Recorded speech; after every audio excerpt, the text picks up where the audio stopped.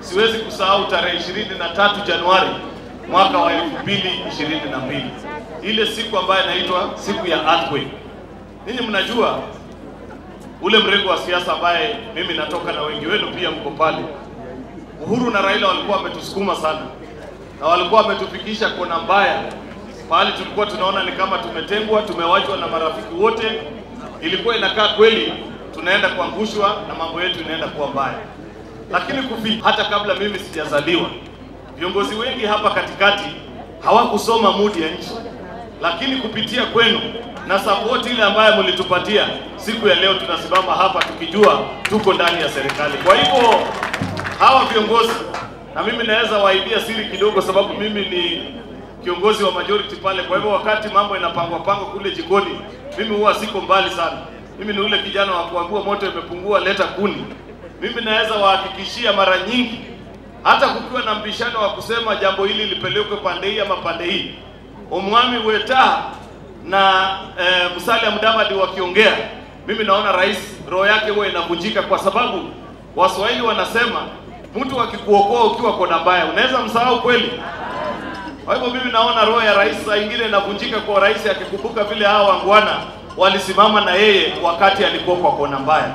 Mimi nawahakikishia kwamba wakati wowote pale bungeni kukiwa na jambo ambalo linahusiana na nyinyi wakaaji wa eneo hili la magharibi, mimi nitahakikisha haki yenu hakuna mtu yoyote amecheza nayo.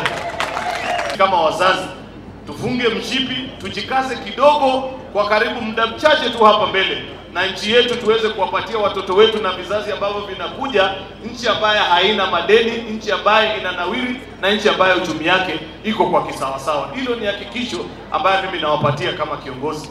Jambo la mwisho ndio niweze kumuita kiongozi Ichungwa.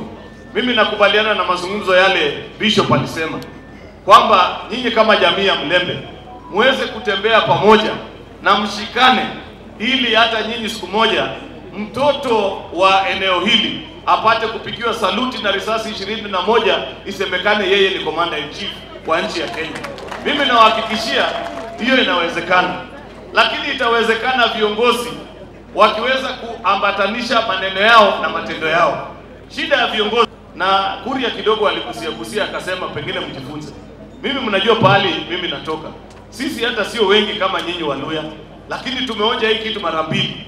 Mkiendelea kuzungumza hii lugha ingine tena ambayo mnasema hii na mnafanya tofauti, hata mimi mdogo hivi mtaonja ya tatu kama bado mnangojea. Nataka niwaambie tafadhali, unajua boma ama hii siasa ni kama boma, haiwezi kutawalwa na wazee wawili, watatu, wanne, watano.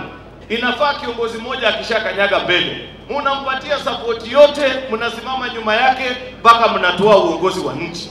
Kwa sasa hao viongozi wenu Eh, Musalia Mudavadi na Moses Wetangula wameshakanyaga mbele. Hii mambo ya wengine wanajitoa toa ati wanasema pia waangaliwe, hiyo ndio maneno ambaye inawaangusha kwa miaka mingi. Kama ni kweli hawa viongozi wako hapa, mimi nimemsikia, nafikiri ametoka Wanami e, na nimeona pia Mama Elsi na wengine wanasema wanataka hii mambo ya Luya Unity. Kama mnataka kweli mambo ya Luya Unity, then declare your support for the leaders that are here, ili iweze kujulikana kweli eh, iweze kujulikana kweli you are serious about this Luhya unit. Otherwise ikisemekana kila mtu akuwe jogoo kwa kijiji yake, hakuna Kenya ambayo utaongoza. Lazima uhakikishe kwamba tumewapatia support yetu ili tuweze kupata uongozi, na siku hiyo ikifika, kwa sababu ya ile ambayo mlifanya, mimi nawahakikishia kutoka majirani yenu ya pande ya Kericho na Rift kwa, kwa, kwa jumla sisi tutarudisha mkono ile style ambayo hamjawahi kuona. We are forever grateful because of what you did for us. Kwa hayo mengi, wacha nichukue fursa hii nimuite pia